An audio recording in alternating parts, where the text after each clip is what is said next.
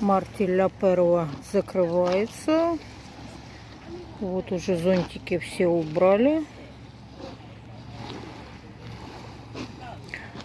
Рядом с Мартеля Перла зонтики в аренду давали частники. Тоже уже зонтики забрали.